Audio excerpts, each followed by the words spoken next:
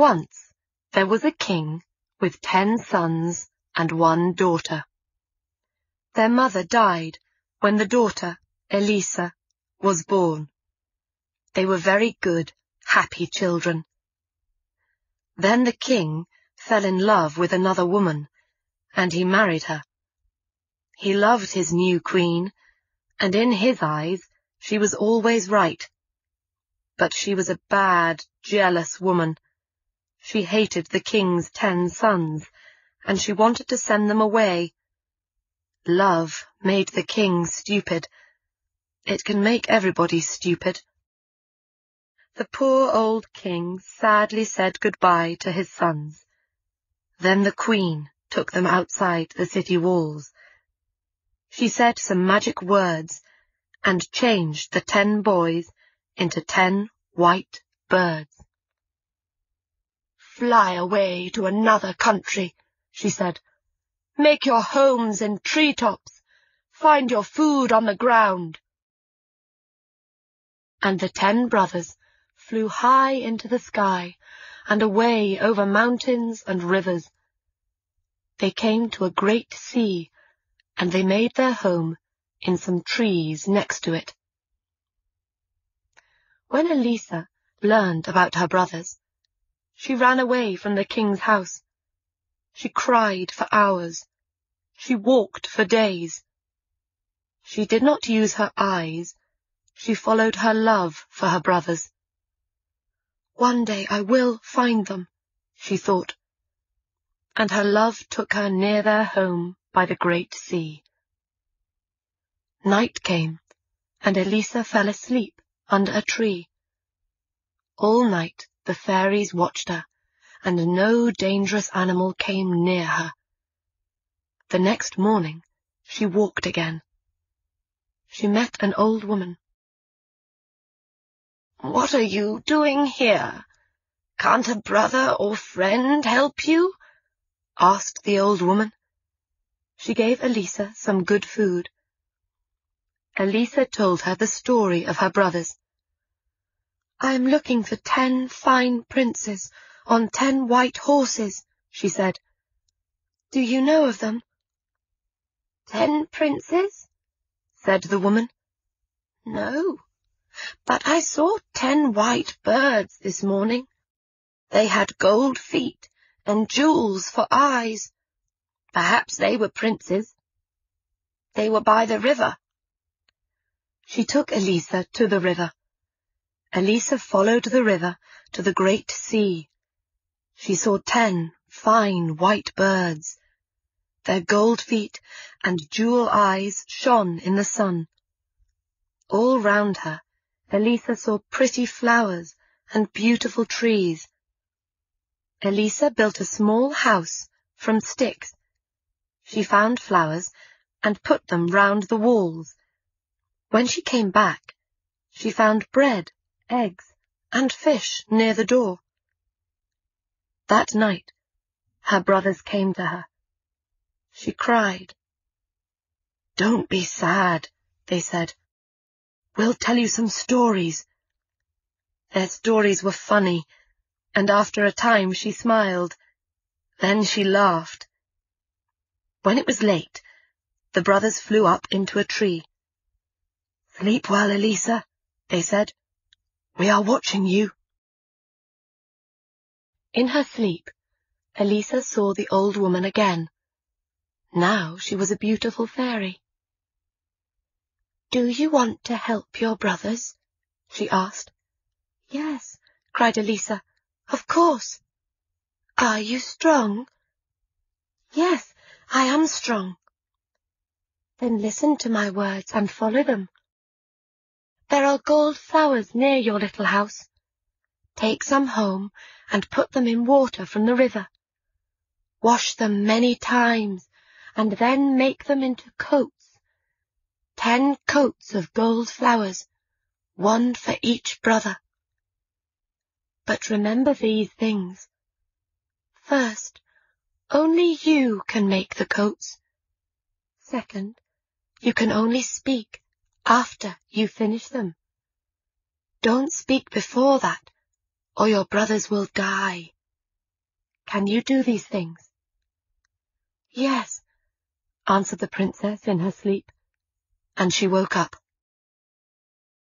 She looked outside her door and saw the gold flowers. She followed the fairy's words, and she worked all day. When the sun went down, her fingers hurt. Her brothers came that night, but she did not speak to them. Why are you not speaking? they asked. Is this the work of a bad fairy? She showed them her work. She made a picture of ten coats on the ground with her finger. Then they understood. Her work was for them. She worked and worked. Her brothers watched her. After two or three weeks, six coats were ready. Then one day, when she was by the river, a dog suddenly appeared. It jumped at her. Then other dogs came. They made a great noise and ran round her. A man came through the trees on a fine white horse, with many men behind him. Elisa looked at this man, and she loved him. Who are you? he asked her. Nobody lives here. Where are you from? Elisa could not answer him. I am the king of a great country behind those mountains, he told her. I often come here with my dogs and horses. He came every day and spoke to Elisa. They walked by the river, and he told her about his life. He loved her, and he wanted her to be his queen. But why did she not speak? She only spoke to him with her eyes. In the end, he asked her, Will you be my queen? Poor Elisa started to cry. She ran to the gold flowers. We will take the gold flowers and your work to my house. You can work there. Will you come? She could not say no, because she loved him. So Elisa and the king took the flowers and the coats, there were eight now, to his country. Her brothers were sad, but each day they flew high above the king's house. The king had a jealous younger brother. He wanted to be king, and he wanted his brother to die. When the king married, he was angry. Now the king will have a son, he thought and I will never be king. The king could not see inside his jealous brother's head. Because he was good and kind, everybody was good and kind. One day, the king had to leave the city for many days. He had to visit an important king in another country. The queen stayed at home and worked on her coats. Now she had nine, but she had no more flowers she looked everywhere for the gold flowers. Then she found some flowers in a bad place. The people of the city threw their dead animals there. I cannot go there in daylight, thought the queen. People will see me. They will not understand, and I cannot tell them. So she waited for night. Then she went out and got some flowers. The king's younger brother saw the queen that night. He followed her and watched her. He waited the next night and followed her again. Now I have a plan, he thought. He followed her for five nights. The next night he called the great men and women of the city to a place outside the city walls. Why are we meeting in the dark? they asked. You will see, he answered you will learn something about your queen. Now, everybody, be quiet. Wait here with me and watch. What does our lovely queen do every night when the king is away? What do you think? A little time later, the queen appeared and got the flowers. She started to walk home, but the king's brother ran after her. He caught her arm. See, he cried to the people. She is a bad woman. Only a bad woman looks for flowers in this place at night. She uses them for bad magic. She plans to kill our dear king, my brother. Why do you think she never speaks? Because she can only say magic words. People shouted, Kill her! Put her on a fire! And the king's brother said, Let's kill her before the king comes back, or she will kill him. He took the queen back to her room. Tomorrow, he said to her before he closed the door, you will die. The king and his servants were one day's journey away from the city. They found a place for the night and got off their horses. The king looked up and saw a white bird in the sky. The bird flew down to the king, and the king's horse was afraid. The king shouted at the bird, but it did not go away. Then he looked again, and saw its gold feet and jewel eyes. It is one of the fairy birds, he thought, one of the queen's birds. She can understand their cries, but I cannot. I think it wants me to go back quickly to the city. The king called his men. We are not staying here tonight, he told them. We are going to the city now. We have to go back to the queen. Get ready quickly. I am leaving now.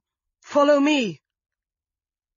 The king and his men followed the white bird all night. The bird called to them, Quickly, quickly. In the city, Elisa worked all night with her gold flowers. The next morning, the people of the city met in the big square in front of the king's house. They looked up at the sky.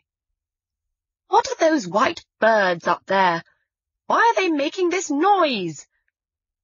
Men brought sticks and built a large fire. The birds flew down and round the men's heads. They took some sticks and flew away, but they could not take every stick. The king's brother went to the queen's room. He brought her outside and into the square. She carried the gold coats in her arms and the birds flew with her. At the same time, the king arrived at the opposite end of the square. His white bird flew over the people's heads. It is the queen, cried the king. He fought his way through the people to the middle of the square. A fire, cried the king. Why are you building a fire? He looked at his younger brother, and he knew. He was very angry, and the people were sorry. The younger brother turned to the people and shouted, Do we want her to die? But the people did not answer yes. They looked at their feet. Then a little boy at the front shouted, No! And everybody shouted, No! The queen called to the white birds, Come here, my brothers, the birds flew down to her feet. She threw her wonderful gold coats over them, and they changed into ten fine young princes. The princes took the king's brother on top of the city walls and threw him to the ground. Boys ran after them and threw stones at him. Nobody saw him again. The king put his arms round his queen. Speak to me now, my beautiful wife. When you see white birds above you, listen. You will hear them cry, Quickly! Quickly! Now you understand.